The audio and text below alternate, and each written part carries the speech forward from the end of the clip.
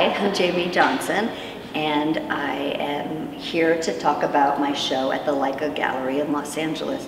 I'm super excited to be here. This is a project I've been working on since 2014, and I'm just excited to get it out in the world as it's such an important passion project to me.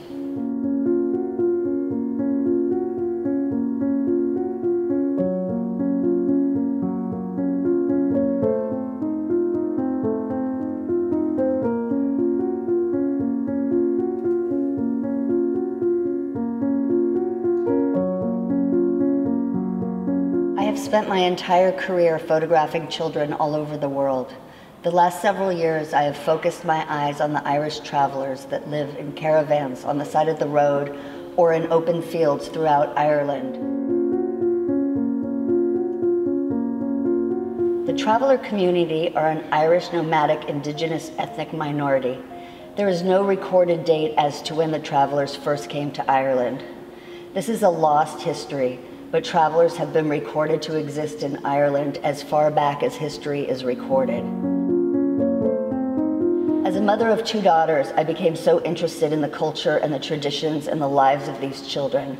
I've spent eight years traveling back and forth to Ireland to document these incredible children. The experience I had photographing the grit and the beauty that is the everyday life of the traveler child is one that inspires me every day. Their deep respect for family and cultural values is refreshing. Not always immediately accepting of an outsider holding a large camera, I really took my time to get to know and understand these faces that represent their new generation.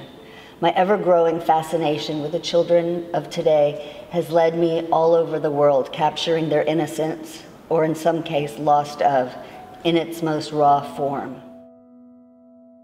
Unlike most children, they are unable to refer to a history book to learn about their ancestors. A part of this journey for me was to be able to document an era that is so different from any other I have photographed. It is one that is and always will be rapidly changing. Every time I visit, it's a whole new world Yet with the relationships I have been lucky enough to make, it seems like I've never left. I am exponentially grateful to the young people documented and that I have come into contact over these years. It is with an honest heart that I hope to show that these beautiful children who have great hopes and goals and work every day to reach their dreams, no matter how hard they have to fight discrimination and stereotypes placed on them for centuries. Child is an innocent, happy, precious part of the world that should be loved and accepted and encouraged, no matter where or how they live.